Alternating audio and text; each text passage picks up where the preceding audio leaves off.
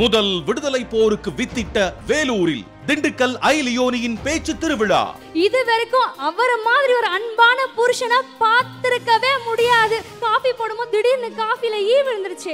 ஈயோட coffee எத்தனை போய் கொடுத்தேன்? அங்கதான் என் ட்விஸ்ட் என் மாமா என்ன பண்ணாரு தெரியுமா?